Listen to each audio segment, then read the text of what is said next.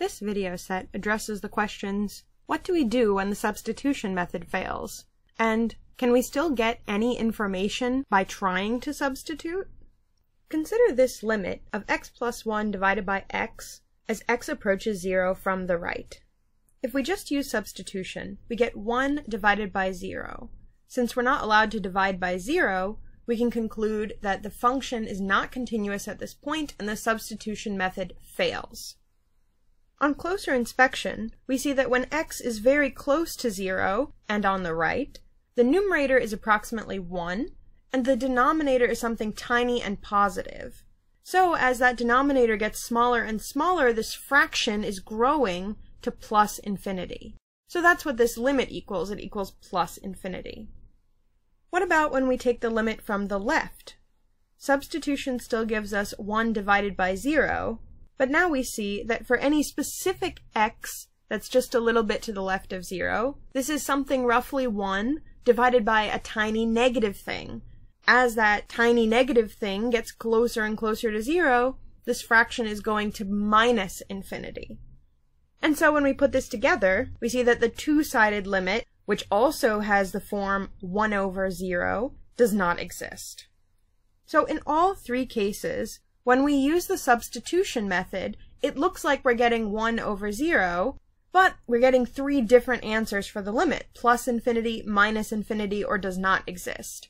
And these different answers are coming out because of signs, whether the denominator is consistently positive, consistently negative, or could be either one, in this case determines which of these three answers we get. In general, if substitution gives you a constant divided by zero, then the limit is going to be one of these three things, and deciding which one depends on looking closely at signs. What about the limit of 1 over 1 plus cosecant as x goes to 0? When x goes to 0 from the right, cosecant, which is by definition 1 over sine, is going to plus infinity. So this ratio is roughly 1 on top and something giant and positive on the bottom, so it's approaching zero. What's going to happen when x approaches zero from the left? Well, on the left now, cosecant is approaching minus infinity, so we get 1 divided by something giant and negative, and that ratio is still going to zero. So the two-sided limit is zero. In general, when substitution gives you a constant divided by either plus or minus infinity, the limit is zero. A constant divided by zero or a constant divided by infinity are both what we call determinate forms. So even though when we get this with the substitution method, we say the substitution method failed, but still we can use that information to determine the limit with a little bit of carefulness about signs. Just looking at the form of a limit won't always give us much of a clue of what the limit equals. Consider this limit. The substitution method gives us 0 divided by 0. Usually when we've come across this kind of limit before, we've used factoring to simplify. In this case, the numerator and denominator both contain a factor of x minus 1. So whenever x is not literally equal to 1, we can cancel it out and get x plus 1 over x. Hence these two quotients have the same limit as x goes to 1, and now using substitution on the right just gives us 2. We used a similar strategy to evaluate this limit, which came up when we were studying instantaneous velocities. Both of these two limits have that form 0 over 0, and yet they give us very different numbers. We say that 0 over 0 is an indeterminate form because we can't determine anything about the limit just from seeing this form. In this video set, we'll also investigate the indeterminate forms infinity over infinity, 0 times infinity, and infinity minus infinity. Later, in section 4.5, we'll see that there are three more indeterminate forms, which are all exponential.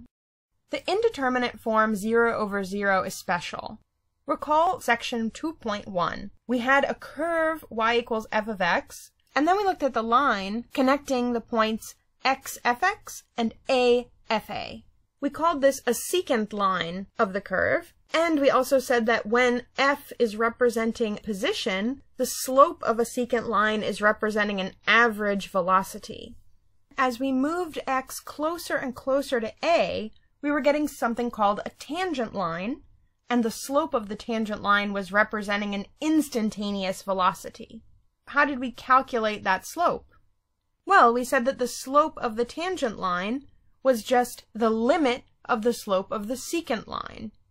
And we can calculate the slope of the secant line by just looking at the rise, fx minus fa, divided by the run, x minus a. Notice that this limit is of the form 0 over 0. That means whenever we try to calculate the slope of a tangent line, we're going to come up against one of these indeterminate limits, and we're going to need strategies for evaluating them. This will be crucial in section 3.1 when we develop this tangent line idea further. Please go on to the next video where we discuss some algebraic strategies to address these indeterminate forms.